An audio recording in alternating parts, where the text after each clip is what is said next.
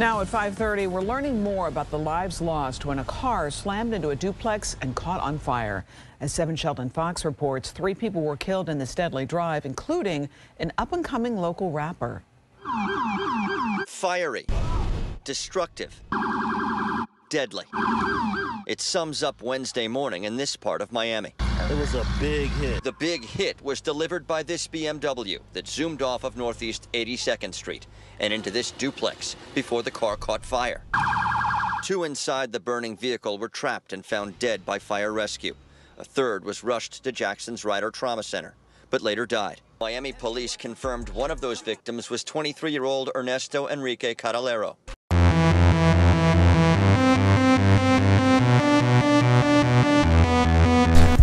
Man, stay safe world. You already know what's going on. We gotta talk about this situation with Ohtrapstar. He was tragically killed in a car accident that took the lives of three people in Miami two days ago. We're gonna get right into the incident, and everything that happened. But before we do, I'm gonna need y'all like, comment, subscribe. We gonna run this up. We back, man. They tried to disable my account, man.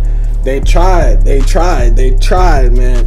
Somebody reported me, got my shit terminated, but then I hit up my YouTube plug. You know I got that shit sorted out, so it's not even a thing. So let's get into what happened, man. It's a super tragic story. South Florida rapper. At one time, he was like kind of like the biggest thing coming out of South Florida. This was like 2016, 17 when he dropped his track. Um, what was it called? Choppa. Fuck a chopper, got a Smith and Wesson. You know that song, man. He'll ever, forever be known for that banger. People accuse him basically of copying comethazine and stuff, but that's besides the point. So let's kind of get into what happened. So basically, it's kind of a tragic story, but the lives of like three like young 20 year olds were basically taken from us in Miami in a super tragic accident, which in my point of view, I feel like was totally avoidable. But basically, at around 5 a.m., a car, a BMW 3 Series, basically was going at a really, really, really high rate of speed through the um, northeast part of Miami. If you're not familiar with Miami, basically like northeast 82nd Street, which is what they were on, is off of the intersection of Biscayne. And Biscayne is like a long street that goes all the way throughout Miami. And they were just, I guess, going, I don't know what they were doing at 5 in the morning, but they went really fast at this one street. So the person driving was another guy. He was like a valet at like a hotel, basically. Trapstar was in the car with another female, and then the car somehow went out of control, careened off the road, flipped over multiple times, crashed into a house, broke through the wall, hit two people in the house.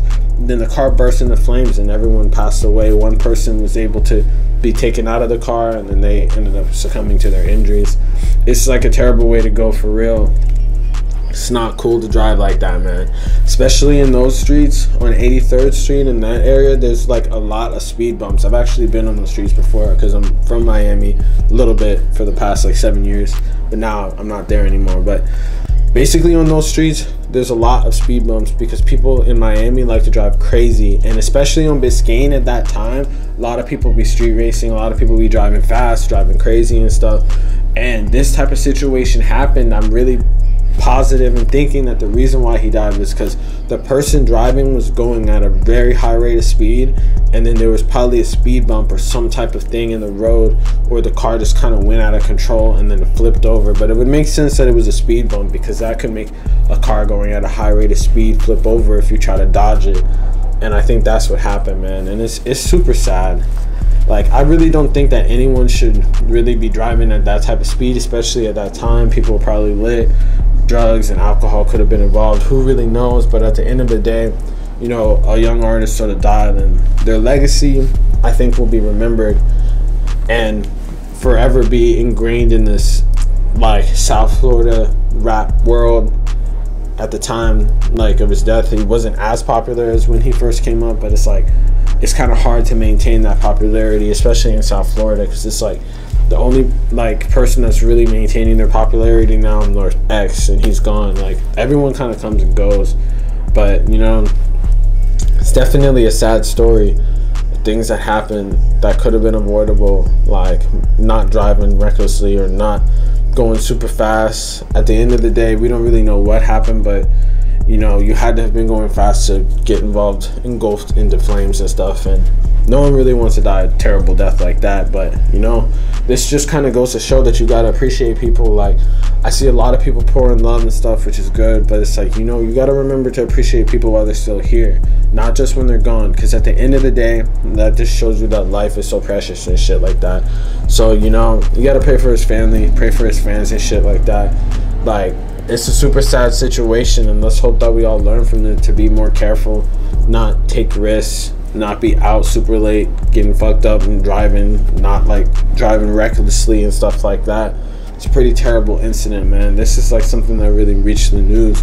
And it's because of the fact of how crazy and gruesome and how like insane it is that like you even reach that speed and it's such a it's not like this is like a highway or nothing like that. This is like a straight off street and like reaching that speed is kind of crazy. But man let me know what y'all think in the comments man. You think he was a legend or you think that he was a legend in the making and was about to get in that situation and he was on the come up man? Go listen to his music and stream his shit. You already know what to do. Like comment subscribe. Peace